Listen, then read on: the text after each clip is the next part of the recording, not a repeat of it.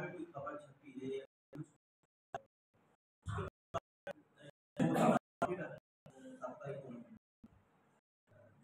भारत में दो साल उस इसी तरह से प्रधानमंत्री का मौका नहीं समसामयिक समाजों पर हम लोग सॉरी डेली न्यूज़ है उसमें लिखते हैं फिर उनसे संस्कृति का समकाल जो है तो सारे समाज कला, संस्कृति और साहित्य के समाज कि समाज कहाँ जा रहा है? आज जैसे मैंने भी कविता में कहा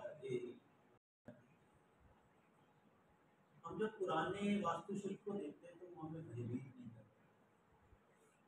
आप अगर ताजमहल के भीतर जाते हैं तो उसका शिल्प ऐसा है कि आप उसके अंदर जाके चकित नहीं होते आप उससे प्रेम करते लेकिन आप आज की आधुनिक वास्तुशिल्प देखते हैं, वहाँ से उस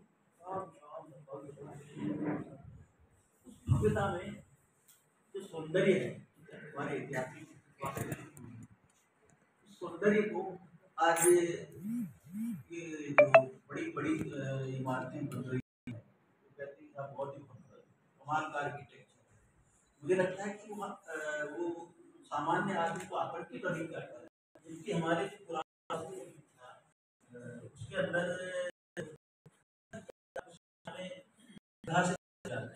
आप कलाकारों की पूजा करते हैं, आप सारी मशीन सब हो गया है, इस कला का सृजन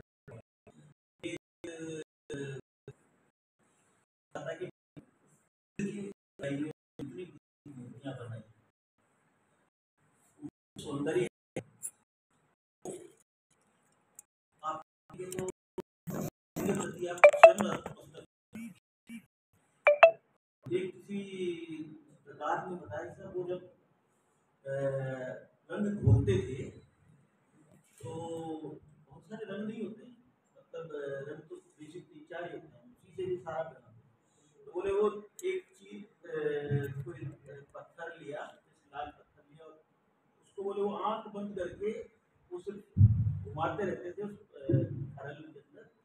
और उसको बोले कई दिनों तक सिर्फ़ बुद्ध की स्तुतियाँ करते हुए और फिर जब उनको लगता था कि पूरा हो गया, फिर आप बोलते थे तो पता चलता था कि ये रंग मैंने बनाना चाहा था वो बन तो हमारे जो पुराने कलाकार थे, शिल्पकार थे, उन लोगों की साधना आज हमें या करती है कि बनाने में अगर इतना समय लगता है तो चित्र बनाने में कितना समय लगता है? नहीं बिल्कुल सही आप फरमा रहे हैं कि जिस तरीके का धैर्य आवश्यक है इस प्रकार की कलाओं के विकास वो रचना में भी वो लेखक में भी होना चाहिए। जैसे लीजिए मैं कह रहा हूँ चालीस साल लगभग बचपन से अगर देखोगे चौरासी में शायद लिखना शुरू किया था। तो आज चालीस साल के करीब होने को लेकिन वो धैर्य रखा कि नहीं बहुत तेज़ी से दौड़ के आगे नहीं बढ़ सकते आप बहुत धीरे धीरे चल के आगे और वो धैर्य दोनों तरह से है। लिखने का भी, प्रकाशन का भी ठीक है, अपन अपनी मंजिल पर धीरे धीरे पहुँचना कहीं नहीं होता है असल में। लेकिन एक मंजिल होती है कि ऐसा रास्ता सही होना चाहिए बाकी तो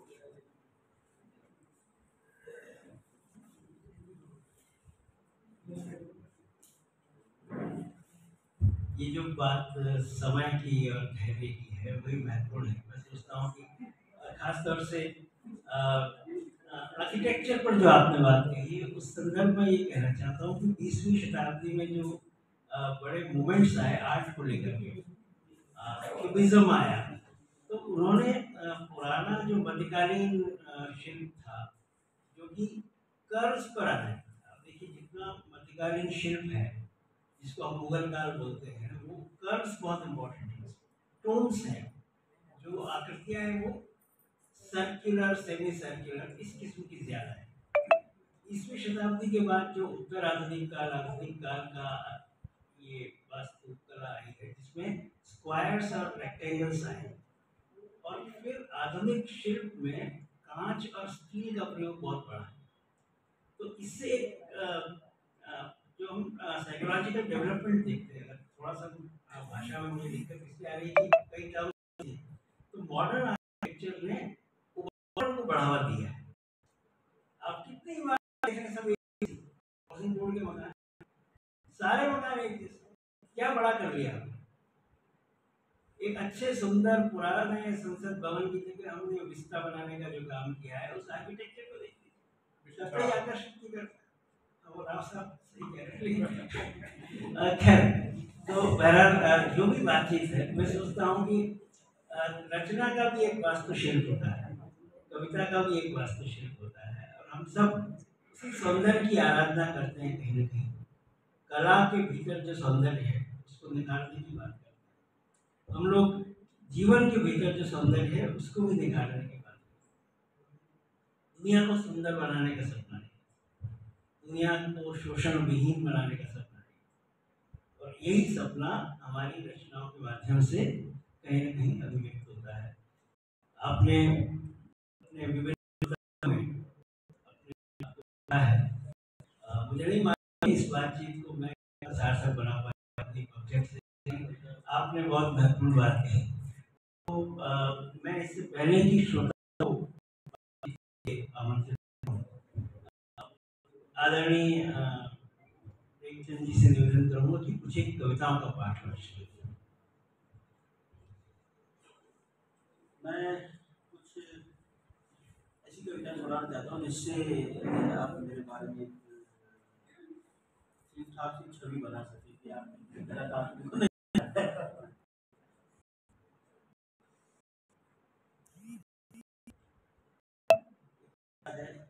कोई की रसोई।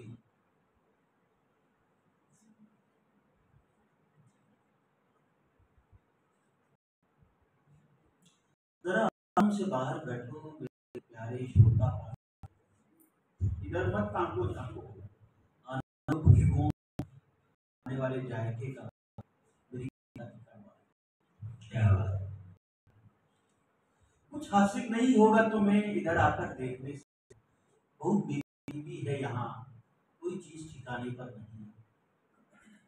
सुनो, आज का अखबार पढ़कर जो डबडबा आए थे आँसू उन्हें मैंने प्यारे में जमा कर दिया। पहले प्रेम के आँसू बरसों से सिरके वाली बरनी में सुरक्षित है। किसानों के आंसुओं की नमी मेरे लहू में है। भूख बेरोजगारी से त्रस्त युवाओं की बदहवासी मेरे भीतर अग्नि सी धधकती रहती है। ज़िंदगी के कई इम्तहानों में नाकाम खुदकुशी करने वालों की आहें मेरी त्वचा में है चिकनाई की तरह विलुप्त होते जा रहे वन्य जीवों के रंग मेरी शाही में जंगल और पहाड़ों के गर्भ में छुपे खनिजों की गर्मी है मेरी आत्मा में।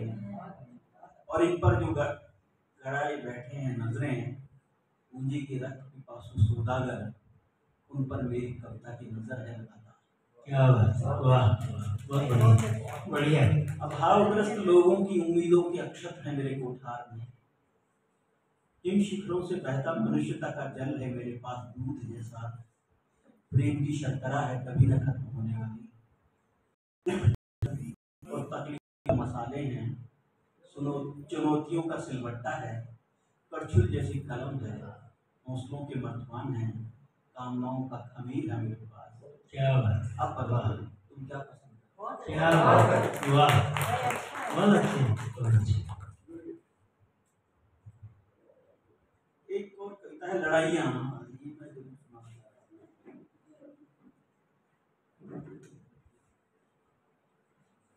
तीन भागों में, लेकिन आप इस कविता के लिए किसी बड़े आलोचक ने कहा था कि जो इस तरह की कल्पना बहुत अलग बहुत आगे तो पहला भाग है, लड़ाइयाँ तो दुनिया में आने से पहले ही शुरू हो जाती हैं।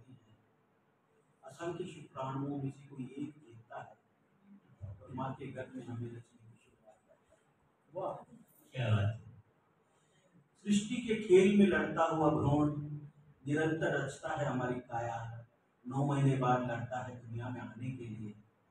और लड़ाइयाँ चलती रहती हैं दुनिया में आने के बाद।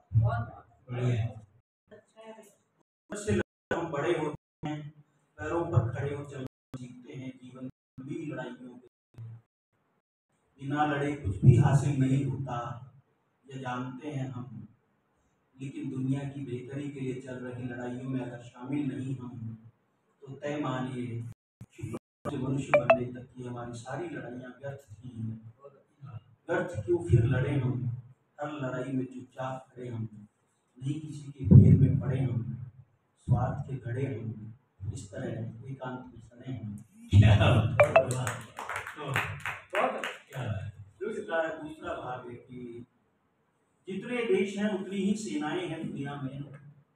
हर देश का सैनिक देशभक्त सैनिक एक देशभक्त सैनिक दूसरे देशभक्त सैनिक का दुश्मन होता है क्यों? ये नहीं मालूम मैं अपनी माँ से प्रेम करता हूँ तो दूसरे की माँ दुश्मन क्यों है? बहुत बढ़िया है। बहुत अच्छी बात है ये तमाम सेनाएँ देशभक्तों की है या कि दुश्मनों की? इस धरती पर लगता है सारी फौजें हैं, सिर्फ़ दुश्मनों की। पड़ोसी दुश्मन देश हो या देश के भीतर पल रहे दुश्मन सभी से निपटने के लिए चाहिए सेना। जिस देश से न रहा कभी वास्ता, वहाँ भी चली जाएँगी फौजें और किसी के स्वार्थ में मारे जाएँगे दोनों तरफ़ के सैनिक। दूर देश में लड़ने जाता फौजी सोचता ही रह जाता है, हम क्यों जा रहे हैं वहाँ? उन्होंने तो मेरा कुछ नहीं बिगाड़ा। लेकिन आदेश तो आदेश है। और फिर फौजी आदेश का। क्या देशभक्ति के सारे गीत दुश्मन को ललकारने के प्रयाण गीत वतन पर कुर्बान होने के गीत अपने हृदय के अंतस्थल से जानता एक सच्चा फौजी कि कुल जमा इंसान को इंसान से लड़ा देने के लिए बहुत बढ़िया। जिन्हें बेचने हैं हथियार करना है कहीं पर कब्जा यही तय करते हैं देशभक्ति के मानक वे किसी भी नाम पर बात जगा सकते हैं देशभक्ति की भावना वे छेड़ सकते हैं गृह युद्ध वे मजबूर कर सकते हैं किसी भी देश को अपने दुश्मन से लड़ने के लिए। लोग जहाँ भी जाए लड़ेंगे वहीं हथियार बिकेंगे। लोग लड़ाइयों में मरेंगे तो खूदों को कारोबार बढ़ेगा और उसी तादाद में ताबूतों का वाह सौदागरों का क्या है? क्या बात उन्हें तो बस माल की किस्में से मतलब बहुत है। बढ़िया लड़ाई चलती रहनी चाहिए। लड़ते हुए लोग सौदागरों की सबसे बड़ी वो लड़ाइयों का क्या है? कभी बुनियादी सवालों पर नहीं होती है। इसीलिए इतिहास में कोई लड़ाई निर्णायक नहीं होती है। निर्णायक तो मौत होती है। जो हर लड़ाई के बाद अट्टहास करती है। ज़िंदगी का नाच तो जंगलों के साथ चला गया।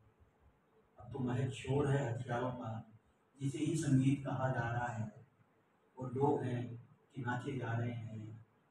दुनिया के सारे फूल सैनिकों सिपाहियों की टोपियों के लिए हैं बच जाए तो ताबूतों के लिए प्रेम के लिए तो एक ही। है ये आखिरी हिस्सा इसका। लड़ना इंसान की फितरत है आदिम काल से ही लड़ता आया है। पेट भरने और जान बचाने से शुरू हुई थी इंसान की लड़ाई जिसमें वक्त के साथ न जाने कितनी छाएँ जुड़ती चली गई और इंसान हर चीज़ के लिए लड़ता रहा हर लड़ाई में हथियार चाहिए इसलिए हर तरह के हथियार बनाए गए मनुष्य की समूची प्रतिभा जैसे हथियार खोजने में खर्च हो गई जब हथियार नाकाफी पड़ गए विचारों की लड़ाई शुरू हुई। अपने ही विचार को महान सिद्ध करने की लड़ाई जो विचार जीते लड़ाई के खिलाफ शांति के लिए उन्हें भी ज़रूरत महसूस हुई कि शांति के लिए भी होनी चाहिए सेना। तभी दबाया जा सकता है शांति फैलाने वाले विचारों को। और बन गई शांति सेनाएँ। लड़ाई के सौदागरों ने कहा और दार्शनिक गए सिद्ध कर दिया गया कि सेनाएँ सिर्फ़ शांति के लिए मैं चुपचाप किताब पढ़ते हुए एक कविता लिखने का समय चाहता हूँ। एक स्त्री परिवार के साथ आराम से रहना चाहती है। एक प्रेमी युगल सुकून की तलाश में है। इस सब के लिए शांति सेना चाहिए। कितनी अजीब बात है ना धरती की सारी हरियाली सेना की वर्दियों में गुम हो गई है। वाह वाह, ठीक। क्या बात है। धरती की सारी हरियाली सेना की वर्दियों में गुम हो गई है। और पृथ्वी का नीला आसमानी खाकी सौंदर्य पुलिस के पास जमा है। कोई बताए मैं उस पृथ्वी का क्या करूँगा जिसका हरा नीला आसमानी और खाकी रंग हथियारों के साये में जमा कर दिया गया है।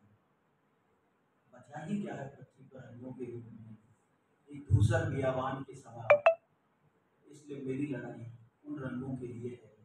अब मुझे भूख प्यास वो प्राणों से कहीं ज़्यादा धरती के असली रंगों की अच्छा, बहुत अद्भुत। तो वास्तव में ये इस पूरे संवाद का जो उत्कर्ष है वो इन रचनाओं में हमें देखने को मिला है। और अब सभी सुधी पाठक श्रोतागण जिन्होंने प्रेमचंद जी को पढ़ा है जिन्होंने आज सुना है आ, मैं उन्हें आमंत्रित करता हूँ बहुत संक्षेप में अपनी टिप्पणियों के लिए प्रश्नों के लिए आ, और और भी कुछ अगर कहना चाहें तो आपका स्वागत है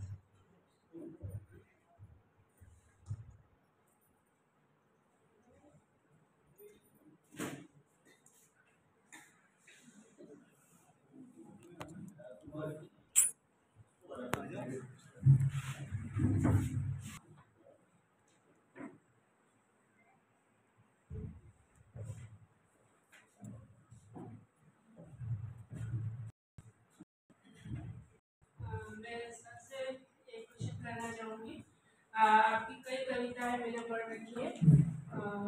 आपका एक मारवाड़ी कॉलम भी कहीं मेरे पढ़ने में आया। और हटे नामक एक मैगजीन में आपकी कुछ राजस्थानी कविताएँ भी मैंने पढ़ी।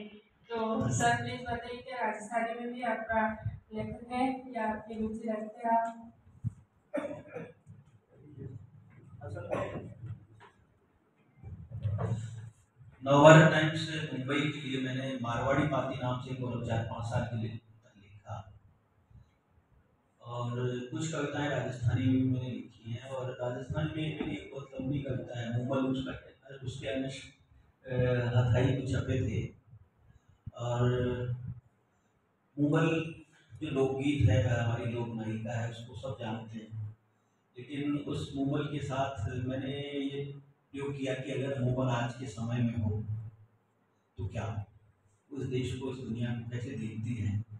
जिस उमरकोट में महेंद्र था, वो उमरकोट अब पाकिस्तान में है। और हम मुगल की मेड़ी हिंदुस्तान में है।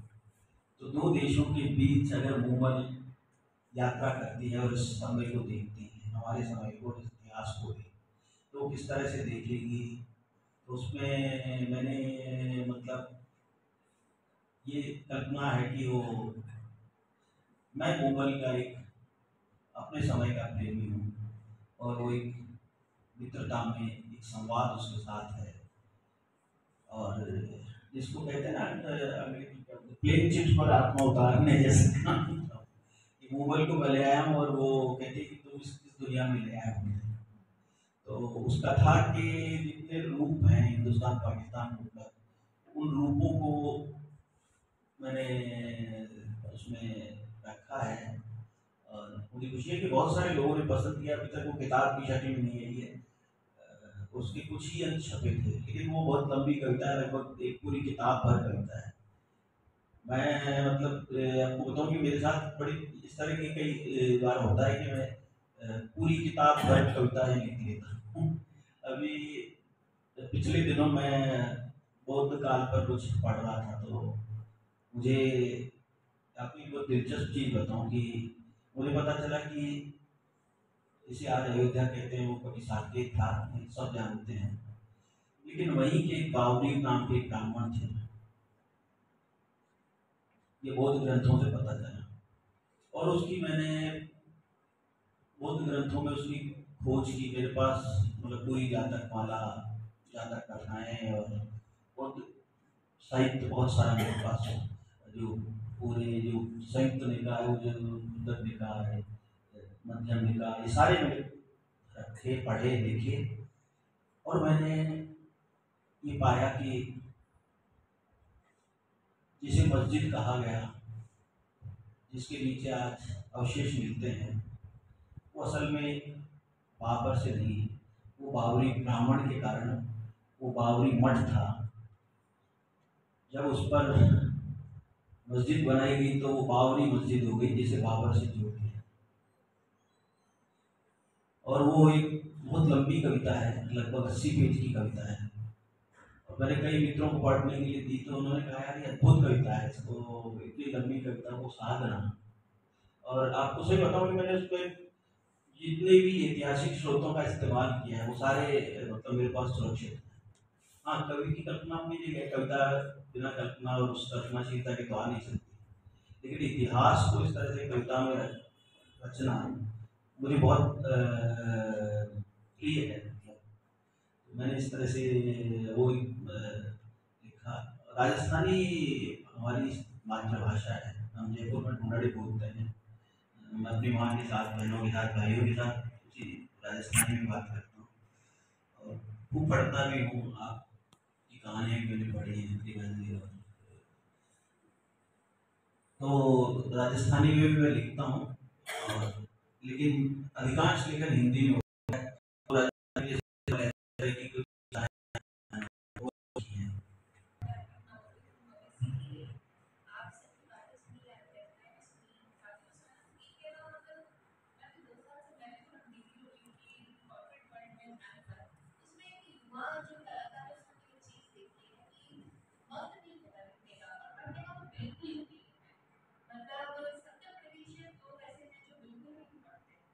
और जो पढ़ते हैं बहुत कम पढ़ते हैं, और आजकल एक नया चलन चला है ऑनलाइन ऐप का। ऑनलाइन ऐप मैंने भी कुछ पढ़ के देखे हैं, कैसा होता है। तो उसमें जो बाहर की संस्कृति है, जैसे अभी मैंने दो तीन ऐप देखे थे जिसमें बाहर की संस्कृति पे वो लिखी हुई है, जैसे बिजली है। तो अपनी जो संस्कृति में जो कथाएँ हैं वो बिल्कुल ही एक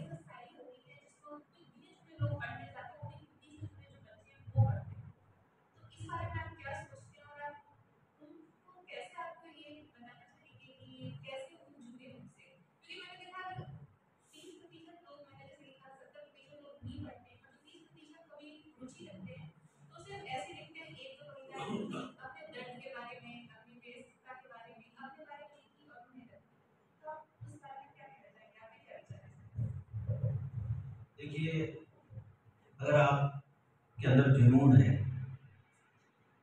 क्योंकि हर चीज़ के लिए जुनून चाहिए होता है। आज आप जितने क्रिकेटर या बड़े स्टार देखते हैं तो जुनून के कारण पैदा हो। लेखक में भी एक किस्म का जुनून होना चाहिए? और उसकी शुरुआत जैसे आप जिस आयु में हैं, मैं कहूँगा कि आप किसी भी तरह से बाकी सब चीज़ें छोड़ दीजिए। सुबह या रात का एक घंटा, कम से कम एक घंटा। रोज निकालिए क्योंकि अब बहुत सारे काम, अगर आप एक पूरे दिन का समय का वो बंटवारा करेंगे ना तो आपको खुद को लगेगा कि आज मैंने पूरे चौबीस घंटे में चार घंटे तो फालतू ही खर्च कर दिए। तो वो जो फालतू खर्च उसमें से आप एक घंटा तय कर लीजिए कि मुझे आठ से नौ या छः से आठ बैठना है। मैं रोज सुबह आठ बजे तक मेरा ये रहता है कि मैं सिर्फ़ पढ़ने लिखने का काम करता हूँ। सुबह साढ़े पाँच छः बजे उठे, घूमने गए, फिर आके कोई किताब पढ़ रहे हैं, पढ़ ली, लिखना है तो लिख लिया। और पढ़ने की सबसे ज़रूरी चीज़ है पढ़ना। अगर आप यात्रा कर रहे हैं तो आपके पास किताब होनी चाहिए, मोबाइल को आप अलग रख दीजिए। और क्योंकि ये जो पहले कहते थे टेलीविज़न के कारण नहीं पढ़ा जा रहा, अब तो आपके हाथ में आ गए टेलीविज़न। लेकिन आपको इन फालतू चीज़ों से समय निकालना पड़ेगा। और लोक कथाओं की इनकी बात है तो मैं कहूँगा कि जब हम किसी भी लोक कथा को पढ़ते हैं या सुनते हैं तो उसके भीतर से सवाल उठने चाहिए कि ऐसा क्यों हुआ? कोई भी रचना आप पढ़े ना तो आप उसमें, उससे सवाल कीजिए, काउंटर कीजिए कि ये ऐसा क्यों हुआ, ऐसा क्यों नहीं हो सकता है? जैसे मैंने अभी आपको सैनिकों वाली लड़ाइयों वाली कविता लिखा पढ़ी। तो आप अपने आप को ट्रांसेंड करने की कोशिश कीजिए कि नहीं, ये गलत है। ये जो मैंने पढ़ा है, इससे आगे क्या हो सकता है? तो जब आप अपने आप को ट्रांसेंड करते हैं ना तो फिर आपके भीतर से का रचनाकार अलग तरह से बोलता है और वो उस जुनून के साथ ही आ सकता है। क्योंकि आपके अंदर ऐसा जज्बा पैदा कर लीजिए कि मुझे राइटर बनना है तो उसकी तैयारी यही है कि आप रोज एक घंटा दीजिए और जो लिख रहे हैं, उसको भूल, जैसे कविता लिखी आपने तो आप उसको लिख के भूल जाइए पंद्रह बीस दिन के लिए। जब आप उसको दोबारा पढ़ेंगे तो लगेगा, अरे क्या बकवास कोई कहानी लिखे तो लिख के भूल जाइए महीने, दो महीने के लिए क्या लिखा। फिर जब आप उसको पढ़ेंगे, फिर एक पाठक की तरफ़ पढ़ेंगे, फिर लगेगा, अरे, इसमें ये फालतू की चीज़ इसको हटाओ, ये ठीक नहीं है, इसमें यहाँ ये ठीक करना चाहिए। हमारे सामने तरह जी बैठी हैं। बड़े सरवत जी बैठी हैं तो इतने बड़े बड़े लेखिकाएँ हैं रीना जी हैं। तो मैं तो यही करता हूँ, मैं कहानी लिखी, लिख के भूल जाता हूँ। अभी मैंने एक उपन्यास लिख रखा है अस्सी प्रतिशत हो गया महात्मा बुद्ध के पीरियड पर। मैं उसको लिखे हुए छः महीने से करीब हो गए तो छः महीने से मैंने देखा नहीं। अब देखूँगा तो मुझे लगेगा उसमें क्या क्या कतर कर दी कितना उसको काटना है। तो ये धैर्य है ना, रचना में होना चाहिए।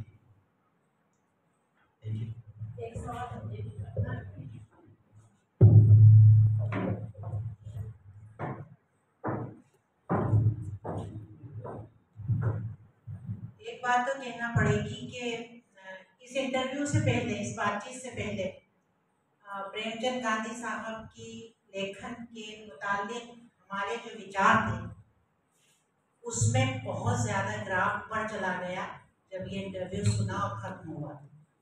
इसके लिए आपको बधाई और हम सब जो है जुस्तजू पैदा हुई कि आपकी किताबों का मुताला किया जाए पढ़ा जाए। एक कविता आपने सुनाई थी जिसमें के एक मिसरा था तुम्हारी पाक खुशबू हो। मैं अभी बाहर जाएँगे, पाक कला का तो वक्त हो रहा है। बाहर जाएँगे अभी तो जितनी हम बाहर खाना खाते हैं, पाक कलाएँ जितनी खाई जाती हैं, सब मर्द के हाथ की बनी हुई होती है, मर्दों के हाथ की। हम अगर उस मिसरे में हमारी पाक कला की खुशबू होती तो कैसा होता? मेरा इस सवालिया निशान का जवाब एज ए राइटर आपसे हूँ। देखिए बिल्कुल आप कह रही हैं तो बात तो सही है वो, कि वो हमारी पाक कला की खुशबू होनी चाहिए। लेकिन जैसा कि चंडालिया जी ने कहा कि हम सब कोशिश करते हैं कुछ बनने की। तो मेरे अंदर का जो पेट्रियार्क वो कहीं ना कहीं छलक ही आता है। और सच बताऊँ तो मेरी पत्नी बहुत अच्छा खाना बनाती है। तो ये कविता तो मतलब उसे समर्पित थी। तो लेकिन हाँ मर्दों की बाहर तो बाकी बनाते हैं, लेकिन घर में तो मान लिया गया है या वो सत्य भी है कि महिलाएँ की पाक हुई, हम सम्मोहित होते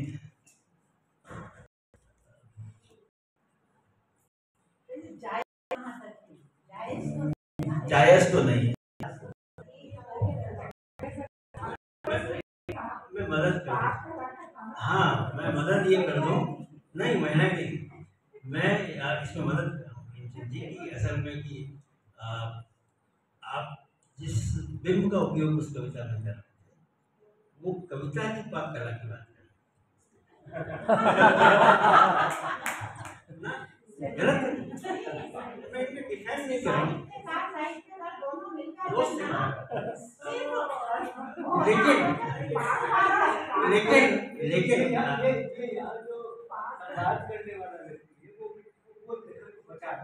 नहीं तो मैं मैं ये कह रहा हूँ कि प्रेमचंद जी ने वो जो कविता लिखी नहीं सच में आप उस कविता को अगर आप दोबारा पढ़ेंगे तो वो कहेंगे कि मेरी कविता की रसोई लेकिन वो कविता की रसोई ही। है और फिर आप मेरे घर आइएगा तो उसमें हमारी ही खुशबू आ जाएगी।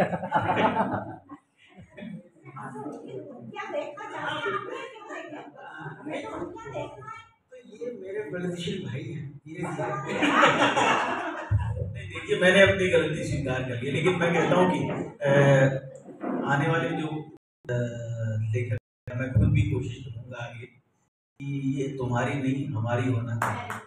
और इसी को कहते हैं मतलब ट्रांसेंड करना जो अभी मैं कह रहा था ना कि आप उस पर सवाल या निशान लगाएँ जो एक लाइन बनी हुई थी। ऐसे ही सोचा जाता है ऐसा ही होता है। उससे आगे जाने की बात करनी चाहिए तो बहुत शुक्रिया, सर। असल में ये जो ट्रांसेंडेंट पोइट्री की बात कर रहे हैं तो उन्नीसवीं शताब्दी के अंग्रेज़ी कवि जॉन किट्स हम काफ़ी लोग पढ़े हैं और बहुत प्यार करते हैं उनसे। उन्होंने एक टर्म यूज़ किया निगेटिव कैपेबिलिटी उसका इस आज के अर्थ के निगेशन से कोई अर्थ नहीं। वो ये है कि स्वयं को निगेट कर देना आप लेखक के रूप में रचना में अनुपस्थित होते हैं और उसको ट्रांसेंड कर तो वो सर्वकालिक रचना तब सृजित होती है और वो हमेशा उसी प्रेम से, उसी तरह से पढ़ी जाती है। तो जो ट्रांसेंडेंस है, वो टेम्पोरल का ऑपोजिट जो टेम्पोरल है, वो तात्कालिक है। कई बार क्या होता है कि एक पाठक के रूप में और रचनाकार के भी रूप में, हर बार कभी कोई ट्रांसेंडेंटल कविता नहीं लिख सकता।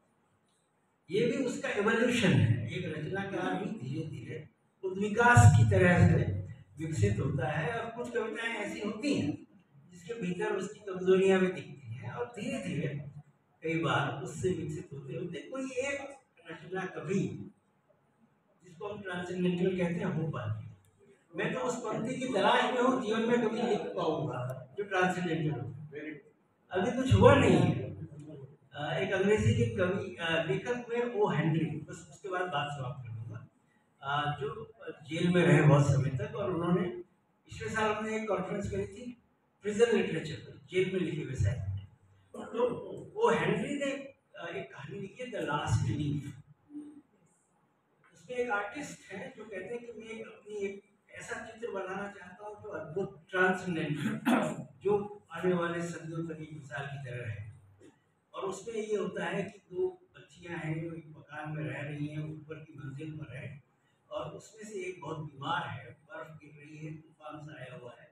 और उसको ये लगता है कि एक पतली सी बेल पर एक छोटी सी पत्ती उसका उससे जुड़ाव ये हो जाता है कि जिस दिन ये पत्ती गिर जाएगी, उस दिन मैं मर जाऊँ उस कथा में एक तो बहुत तूफ़ान आता है। ज़बरदस्त स्नोफॉल हो रहा है। अगले दिन डरते डरते वो खिड़की खुलती है। उसे लगता है आज तो लास्ट लेकिन वो देखती कि एकदम ताज़ा नई पत्ती उस बेल पर उगाई और उसकी जो जिजीविषा है, वो जाग जाती है और वो फिर जीवंत हो जाती है। लेकिन लोग जो बाहर है, वो ये देखते हैं कि बाहर एक सीढ़ी लगी है। उस सीढ़ी के नीचे एक पेंटर गिरा हुआ है। उसके रंग का डब्बा और ब्रश वहाँ गिरा हुआ है। और उस तूफ़ान में उस चित्र को बनाते बनाते वो जो लास्ट लीफ थी, मर गया तो वो जो मास्टरपीस जिसकी हम कल्पना कर रहे हैं, उसके लिए जान दें। तो कभी हमें भी शायद उस प्रक्रिया से गुजरने का मौका मिले। अभी प्रेमचंद साहब को फना होना नहीं अभी हम सब हैं। तो जी मेरे कहने का आशय सिर्फ़ इतना है कि रचना कर्म का जो उत्कर्ष है, उसका एक समय भी आता है और जब हम कोई मास्टरपीस बना पाते हैं। मैं भी परीक्षा में हम दोनों ही हमारा पता नहीं। लेकिन इसमें और कोई बात कहते हैं तो स्वागत आदरणीय तरुण जी। आगे का संचालन मैं उनको सौंपता हूँ। मैं अपनी ओर से युगधारा और राजस्थान साहित्य अकादमी का, आदरणीय साथी अशोक जी का और भाई तरुण जी का आभार व्यक्त करता हूँ कि मुझे आपने इस वार्तालाप के लिए आमंत्रित किया। मुझे नहीं पता कि इसका अंत कैसा रहा, लेकिन फिर आपको धन्यवाद। मैं भी युगधारा और राजस्थान साहित्य धन्यवाद करता हूँ कि आपने मुझे इस लाइफ और जैसी भी बातचीत हुई है, संपन्न हुई और मुझे कुछ रचनाएँ पढ़ने का और अपनी बात रखने का अवसर दिया। बहुत बहुत धन्यवाद। बहुत बहुत आभार पहले पढ़ते थे कि लेखक से मिलिए। बड़ी खुशी होती थी कि लेखक से मिलेंगे, ये जानेंगे, वो जानेंगे। आज हमने अपने आँखों से रूबरू उसको देखा तो आनंदानुभूति अच्छा लगता मिलन, मेरे को हेमचंद जी की आज एक बात बहुत अच्छी लगी। मैं आप सभी के विचारों को मैं व्यक्त कर रहा हूँ। वो ये है कि जो लिखा जा चुका है, उसके आगे लिखा जाना चाहिए। शुरू शुरू में प्रेमचंद जी ने बोली, उसमें स्थान बना क्या लिखना है उसके ऊपर। विषय होना चाहिए लिए जो कही थी, वो होता है दर्द। और दर्द कब आता है? और शायर ने कहा है कि दर्द को दिल में जगह दे अकबर इल्म से शायरी नहीं आती। तरवज दर्द को दिल में जगह दे अकबर इल्म से शायरी नहीं आती। शायरी आती है या कविता आती है, कहानी आती है, नाटक आता है, उपन्यास आता है एकांकी आती है संस्करण आता है, ये सब आते हैं तो यथार्थ के धरातल पर अपनी मानस पटल पर अंकित होते और शब्दों के माध्यम से कर्म रंग दिए जाते हैं। और तब कहा जाता है, जो रचेगा वही बचेगा। जिसने लिख दिया है, वो बच गया। जिसने नहीं लिखा, वो नहीं बचेगा। आने वाली पीढ़ी तो जो लिखा हुआ है, उसी को पढ़ेगी। बहुत अच्छी बात है। तो यथार्थ के धरातल पर आकर यदि हम सृजन करें तो वो सृजन हमारा उसका स्वागत किया जाएगा, क्योंकि मैंने दुष्यंत जी का, जहाँ पर मुझे एक संवाद याद आता है गज़ल का जो देश के हमारे विख्यात गजलकार रहे हैं, मैं उनसे प्रभावित हुआ। उन्होंने अपनी बात कही थी कि व्यक्ति यदि आम आदमी की बात लिखेगा, आम आदमी की बात करेगा तो उसका स्वागत होगा, न कि वो अपनी बात तेरी मेरी, इसकी, उसकी बात करेगा। तो आम आदमी की व्यथा वेदना को व्यक्त करना ही आज के साहित्य की सबसे बड़ी मेहनत की है। आपकी तरफ़ से मैंने अपनी बात ये कही है और मैं अपनी बात को विराम दूँ। इसके पूर्व मैं मंच पर आमंत्रित करूँगा। हमारे आज मुख्य अतिथि महोदय आदरणीय गोविंद साहब को पधारें और हमें वचन प्रदान करें। उसके बाद हमें राजेश साहब को सुनना है किशन जी को और उसके बाद उदय पूर्ति हेतु।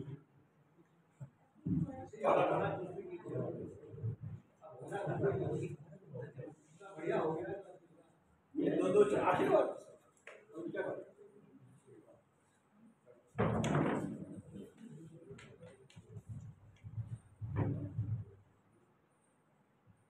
एक बहुत अच्छे कार्यक्रम में का अवसर मिला। प्रेमचंद से बातचीत मैं क्या कहूँ, प्रेमचंद जी के लिए तीन दशकों से हमारा साथ है और मैं उस प्रेमचंद को जानता हूँ जिससे कि मैंने बात की थी जब इन्होंने शुरुआत की थी, तब से होता है। हम दोनों एक ही में हैं। हमारा रोज दिन का गुजरना है।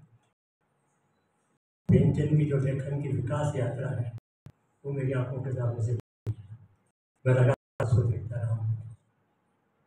आज प्रेमचंद जिस जगह पर है, वो यूँ ही नहीं है। शुरू से प्रेमचंद के अंदर एक वैचारिक प्रतिबद्धता रही है। लेखन के प्रति प्रतिबद्धता रही है। ये अपनी वैचारिक प्रतिबद्धता से कभी हटे नहीं। इनका लेखन ये केवल लेखन ही नहीं और एक एक्टिविस्ट भी हैं। समाज की उन चीज़ों को भी उठाते हैं, जो कई लोग अनदेखी कर जाते हैं।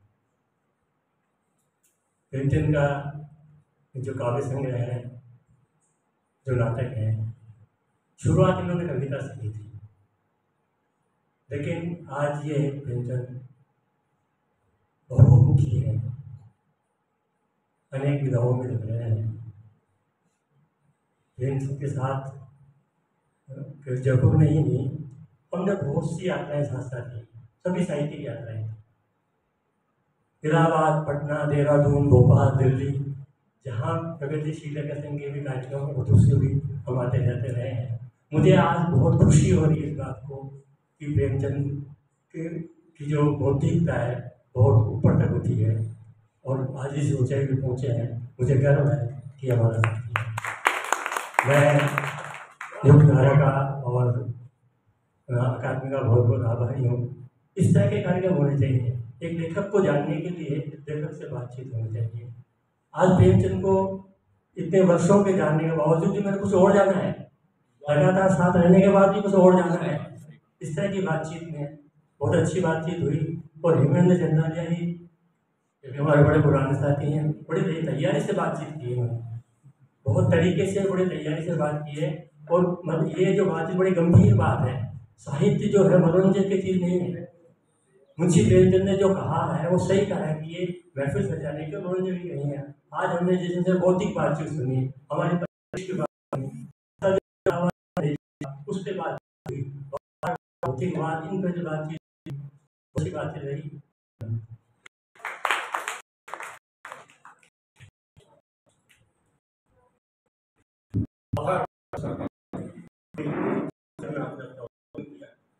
मैं इसके पूर्व की आदरणीय कृष्ण साहब को मंच पर आमंत्रित करूँ।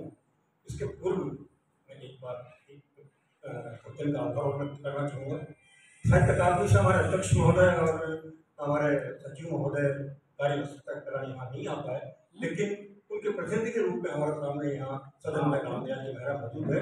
इस कार्यक्रम की सफलता के लिए उनको भी बहुत बहुत शुभकामनाएँ उनका आभार। अब मैं मंच पर आमंत्रित करूँगा। जी को पधारें। आशीर्वाद।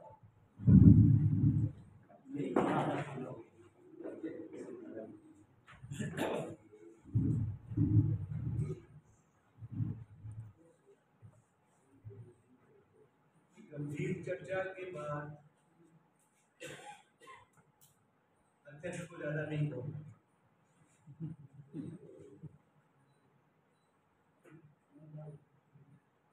सभा का भी अपना एक अनुशासन होता है।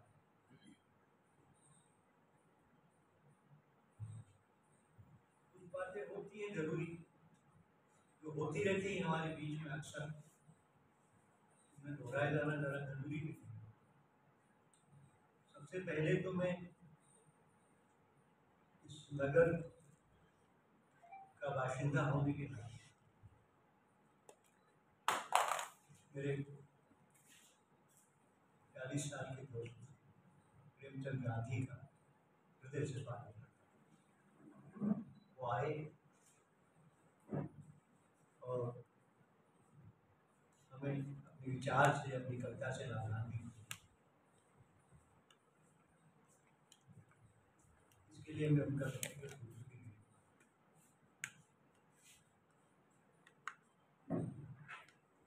भी बात जो मुझे खास कहनी है। वो ये है कि ये सच है जी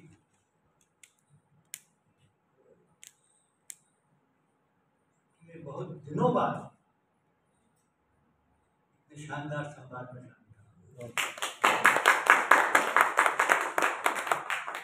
इस तरह की गंभीर चर्चाएँ और इस तरह की संवाद लगातार कम हो रहे हैं, जिनकी बहुत ज़्यादा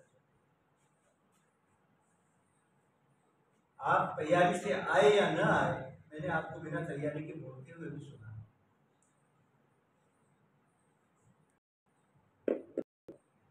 आप।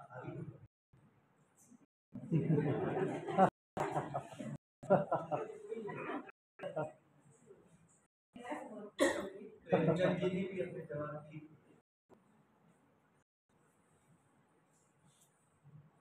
लेकिन जो सबसे आखिर में बात होती है ना वो बहुत देर तक सारी बिल्कुल आती रहती है।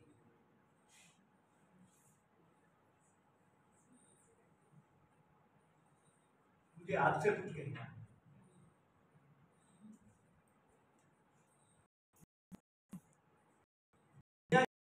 अच्छी कविता वो कहलाई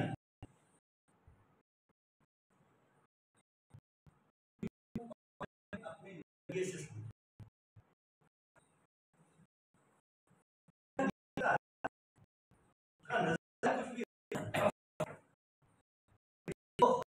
तरह से हो रही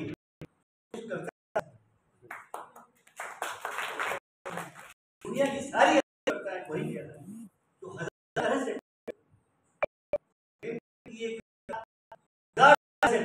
उसकी सुगंध, उसकी रसोई की सुगंध को आपने अपने तरीके से ग्रहण किया।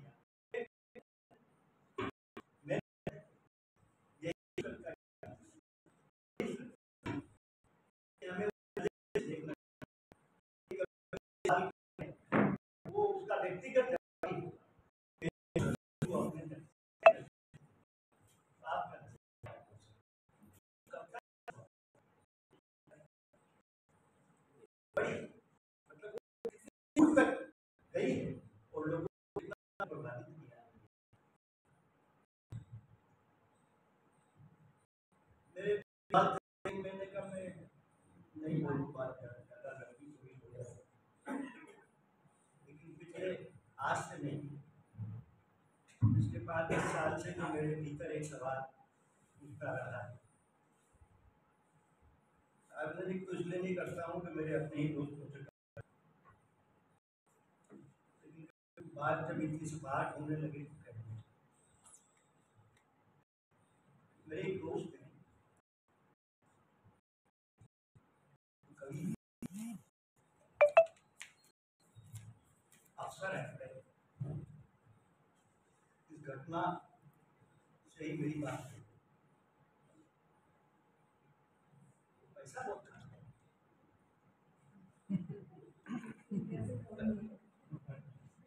पकड़े नहीं गए पकड़ नहीं गई। निलंबित भी हो गई फिर कुछ खिला पिला करके बात वो नहीं था। वापस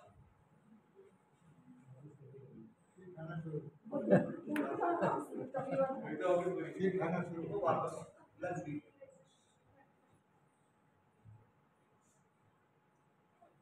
मैंने एक दिन बाद मेरे दोस्त मैंने उनसे लिया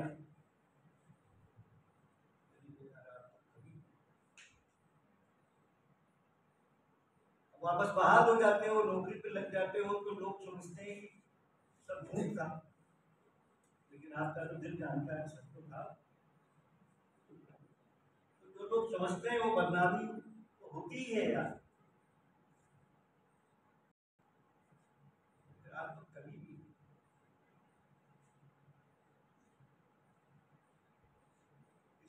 ये सत्य घटना है उन्होंने मुझसे कहा भाई साहब आप रोज गीता पढ़ा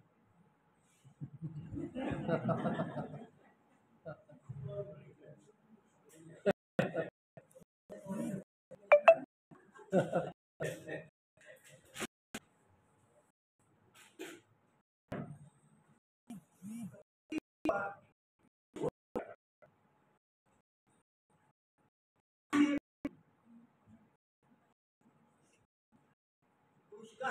तो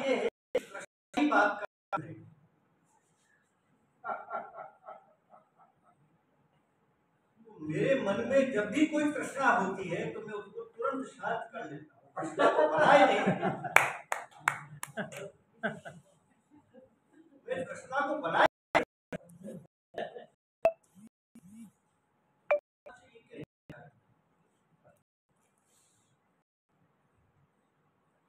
ऐसा समय है कैसा दौर है, जिसमें आप पाप को छिपाने के लिए किसी ग्रंथ को आगे कर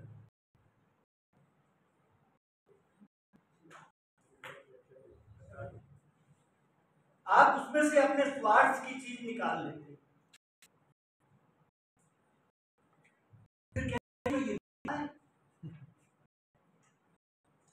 अपने हिसाब से वही बात है कि रवि की सुगंध ये अपने हिसाब से लिखते हैं लेकिन आप उसे समझ नहीं सकते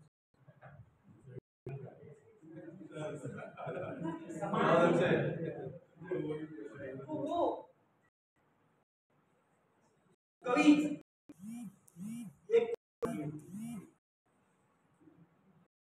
उन्होंने गीता में ये ही पाप का मैं कोई कृष्णा नहीं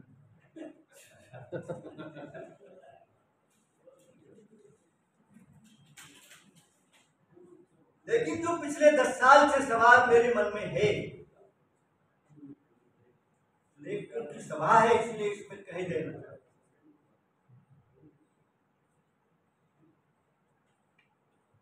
मैं ऐसे सौ लेखकों को जानता हूँ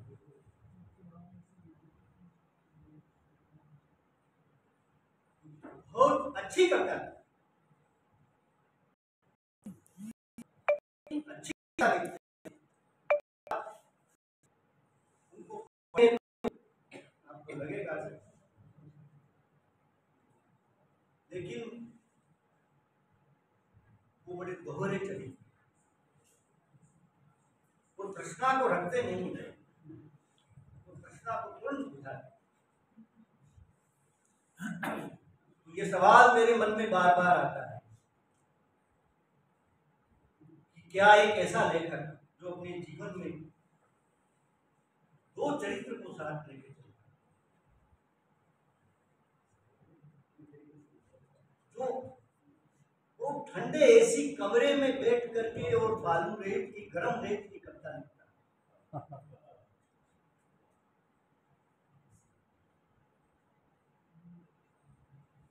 और वो इतनी अच्छी कविता लिखता है। वो सब जगह सराही जाती है।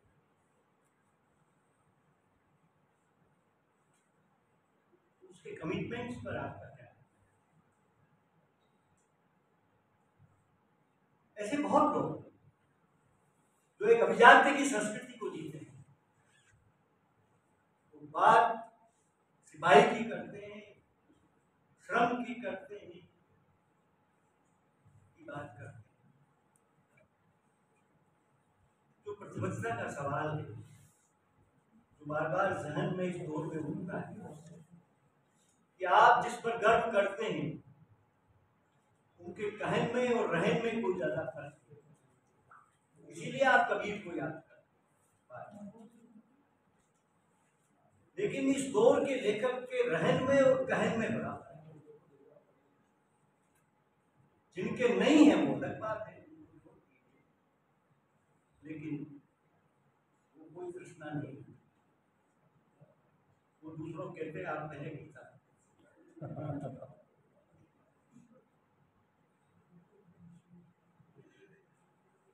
बातें बहुत सारी हैं जो की जानी चाहिए और कही जाती रहेंगी। लेकिन इस दौर का ये भी एक हादसा है कि हमने चीज़ों को बहुत जल्दी निपटाने का तरीका हुनर तो सीख लिया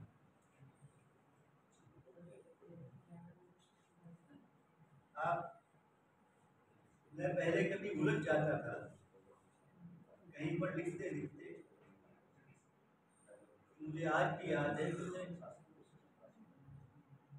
दस जगह रेफरेंस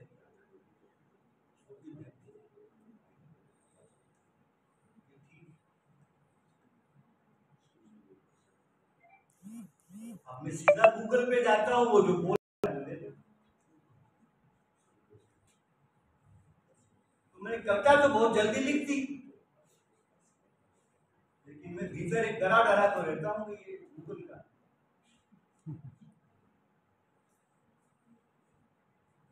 तो इस तकनीक की दुनिया ने आपके समय को भले ही बचाया हो, लेकिन जो आपका साधना का और तप का पक्ष है वो नहीं। इस सोशल मीडिया की आप बात कर रहे थे। मैंने कोई कविता डाल दी फेसबुक पर। उसको पाकिस्तान और पता नहीं कहाँ कहाँ के लोग पढ़ रहे हैं, मान लो उनको अच्छी नहीं लगी तो मैं तो ईश्वर को नहीं एक मनुष्य तो हूँ, इंसान ही तो हूँ।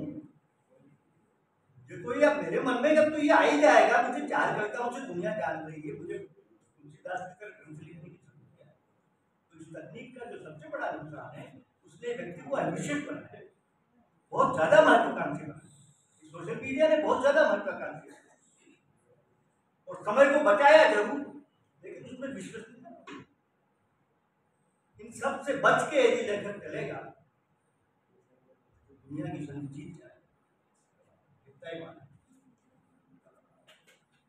ये बाज़ार की शताब्दी है। बाजारीकरण का दौर है। और मैं ये कहता रहता हूँ, यहाँ भी दोहरा रहा हूँ कि बाज़ार तो एक सजी हुई दुकान का नाम है। उसका तो चली तो उसकी मार्केटिंग ये मत भूलिए कि बाज़ार एक दलाल संस्कृति का निर्माण है। तो लेखक इससे जितना बचेगा, हमारे संस्थान इससे जितना बचेंगे उतना हम प्रेमचंद की विरासत को बचाए बचाए ये मेरे लिए बहुत सौभाग्य का विषय है कि मैं आज इतने शानदार कार्यक्रम में शामिल हुआ। दिनों बाद कई बार बातचीत से भी बातें इन शब्दों में आज मित्र प्रेमचंद का स्वागत करते हैं। धारा के प्रति खासतौर से धन्यवाद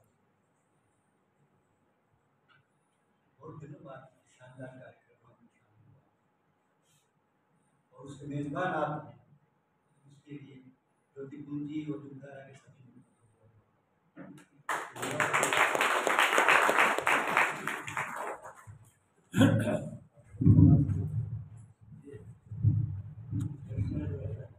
बहुत बहुत आभार आपका। आदरणीय किशन साहब। मैं अंत में एक बार पुनः डॉक्टर हेमंत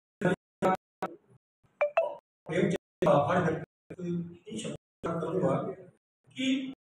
चंडेलिया साहब ने प्रेमचंद जी अंतर मन बटोर कर जो किए और जो संवाद किया तो अपने आप में बेजोड़ रहा ही आपकी विशेषता रही लेकिन जो प्रश्नोत्तर जिस तरह हम जिज्ञासु और हमारी जिज्ञासाओं का श्रवण हुआ लिए सार्थक संवाद रहा। आज की सफलता के लिए आप सभी मित्रों का मित्रों का एक बार कहना आभार। और अब मैं मंच पर आमंत्रित करूँगा हमारे आदरणीय अशोक मंथन साहब को, हमारे युद्ध राज्य अध्यक्ष और एक संक्षिप्त में किसी बात कहूँगा युग धारा एक वैचारिक और साहित्यिक संस्था है, जो पिछले और अपनी धारा में प्रवाहित है। इसमें कई साथी हैं और जो अपनी लेखनी के साथ, इसके साथ जुड़े हुए हैं, इसके संस्थापक ज्योति मुंजी ने, जो इस कार्य को किया है, अपने आप में बहुत ही महत्वपूर्ण है और में अशोक जी साहब अध्यक्ष हैं। कई सदस्य साथी आज विराजमान हैं। पीछे जो सदन में, हैं, ब्रजराज जी हैं, पुष्कर जी जी हैं, हमारे साहब हैं, जी हैं जी हैं, और राजीव जी हैं, शिल्पी है हमारी और रीना जी है जिनकी कहानियाँ राजस्थानी के अंदर बेहतरीन होती ही है, लेकिन ये हिंदी की भी बहुत अच्छी लेखिका है। तो कुल मिलाकर रेणु जी ये अच्छा इनके मुक्त, सुनिए आप, आनंद आ जाएगा पुष्कर जी अनुवाद कर रहे हैं, ऐसा अनुवाद करें मानस राजस्थान आज तक ये हमारे बात है। तो ये एक हो जाता है, हमारे रोम रोम खड़े हो जाते हैं, जब उनको सुनते हैं। लेकिन ये सब कुछ ये बात है संवाद की। लेखक से मिलिए इसलिए इस चीज़ को आगे और न बढ़ाते हुए मैं बड़े आदर और सम्मान के साथ आमंत्रित करूँगा। अशोक जी मंथन को पधारें और धन्यवाद ज्ञापित करें और हमें कुछ आदेश करें अल्लाह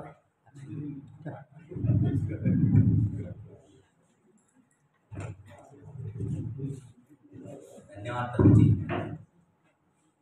आज का एक बहुत ही विशेष कार्यक्रम रहा। जब हमारी उसके ऊपर चर्चा हुई लेखक से मिलिए कार्यक्रम के ऊपर, रामदयाल जी से, और जब हमने अकादमी से इस बात के लिए गुजारिश। और आज जो कार्यक्रम हुआ, हमारी जिज्ञासा थी कि किस तरह से कार्यक्रम। पर आज जो कार्यक्रम हुआ, और हमने आदरणीय गांधी साहब को और डॉक्टर हेमंत चंदालिया साहब का ये जो संवाद हुआ कल मैं गांधी साहब से मिला था काफ़ी चर्चा व्यवस्था के अंदर मेरा भी सोच है। और मैं कहता हूँ अक्सर कि राजतंत्र में राजा दोषी, प्रजातंत्र में कौन? और लुटती पिटती स्वार्थी जनता, अंधी भक्ति मौन कौए दोष किसका? बोलो दोष किसका? तो और प्रेमचंद जी जिस अनुभूतियों को अंदर में जी रहे हैं, डॉक्टर हेमंत चंद्रालय जी रहे हैं हमारे आदरणीय गोविंद माथुर साहब किशन जी दादी साहब को वर्षों से सुनता रहा। सभी जी इधर हैं सब जी सभी जिन- जी रहे हैं। और अंदर में अपनी भावनाओं को लेखक तो लिखता है, पर इस समूह के अंदर, जनतंत्र के अंदर, जनता का बड़ा समूह जब तैयार हो, एक अच्छी मानवीय व्यवस्था के लिए तैयारी नहीं करता और वैसे स्थापित नहीं करता तब तक वो प्रजातंत्र नहीं होता और हमने इस और युवधारा की और राजस्थान साहित्य अकादमी की ओर से आप सभी का। महिला शक्ति, पुरुष शक्ति और इन दोनों की मिलीजुली इंसानियत की शक्ति का बहुत बहुत आभार व्यक्त करता हूँ कि वो आज इस सम्मान के अंदर पधारे और आपने शिरकत की, अपने सवाल भी रखे, सुना और मैं आभार व्यक्त करूँगा। हमारे आदरणीय प्रेमचंद जी गांधी साहब का कि आप जयपुर से पधारे और आपने इतनी बढ़िया बात अपनी कही, अपनी कविताओं का पाठ भी किया, उसके अंदर जो, अंदर पे अपना जो भावना है, उसको प्रस्तुत किया। हेमंत चंदालिया साहब ने उन्होंने अपनी भावना प्रस्तुत किया साथ साथ आपके अंदर क्या है, आपके अंदर जो है, आप क्या सोचते हैं, उसको भी आपने बहुत बेहतर तरीके से सामने रखा।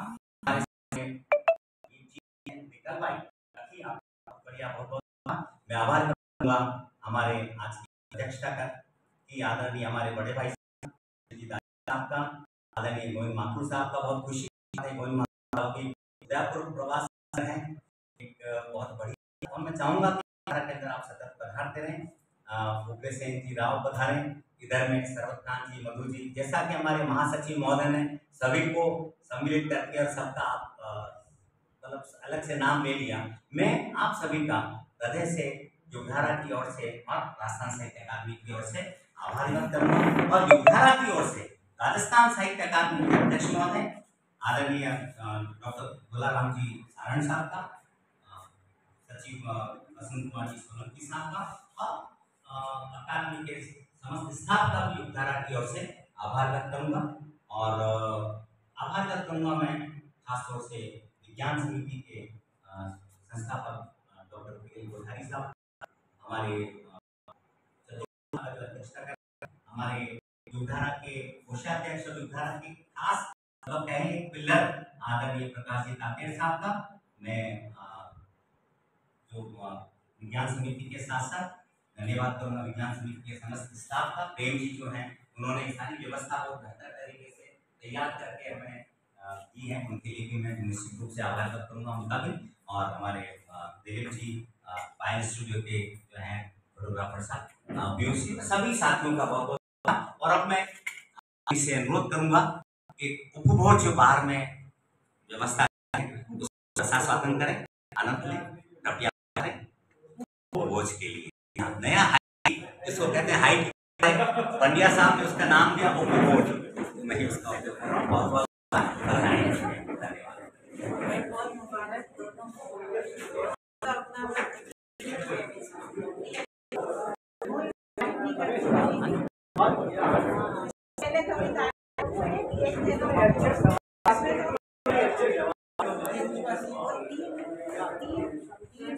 हिस्सों में जो पढ़ेंगे वो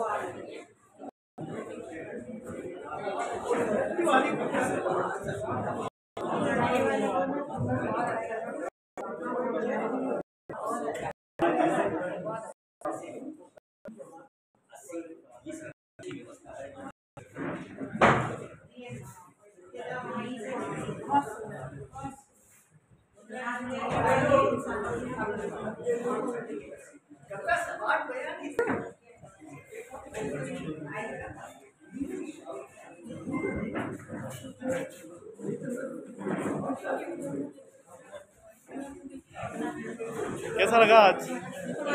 कैसा रहा आज? बहुत अच्छा। अच्छे तो सभी कहते हैं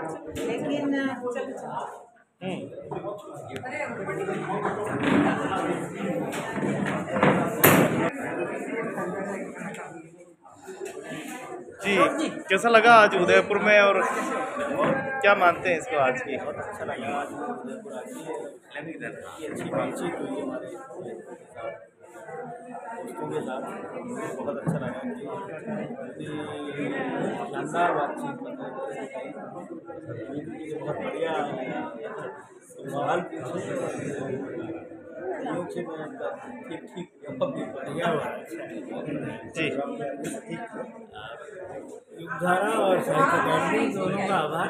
एक बढ़िया चर्चा सर इधर हमारी आज के समय के जो महत्वपूर्ण सवाल हैं। राष्ट्रीय अंतर्राष्ट्रीय पैमाने पर। उन सवालों को रचनाओं के माध्यम से प्रेमचंद जी ने बहुत बढ़िया तरीके से रखा है और हमारी जो जनता है एक लेखक इस व्यवस्था को लेकर, वो भी बहुत सार्थक तरीके से जी बताइए आज की चर्चा में कैसा रहा बहुत अच्छे सवाल थे बहुत आ जाइए एक। सभी साथ में आ जाए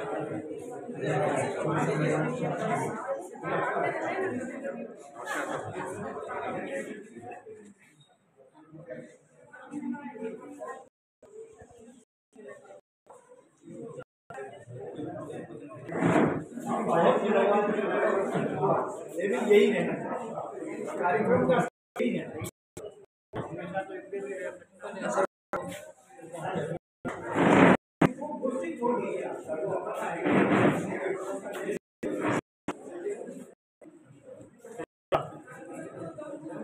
ज्ञापित कर आज बहुत ही बात है कि आदरणीय प्रेमचंद जी गांधी ने जो समाज स्थापित किया और अपने धर्म को हम सभी के बीच में साझा किया, उसके लिए मैं अंतर मन से लिया आदरणीय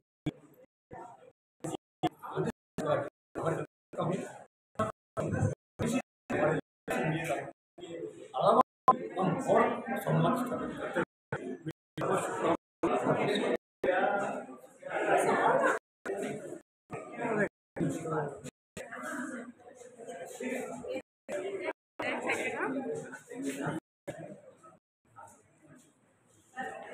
मैं भी आ जाऊँ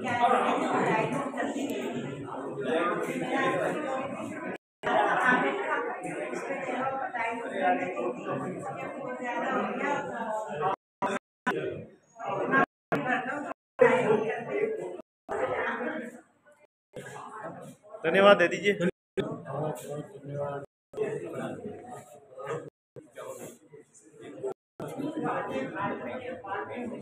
यार हमने क्या बिगाड़ा है यार।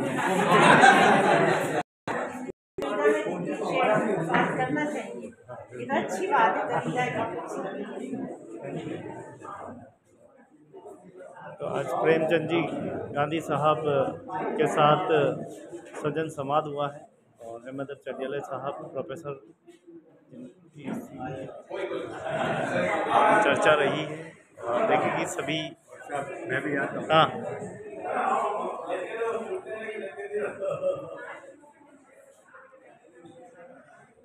Thank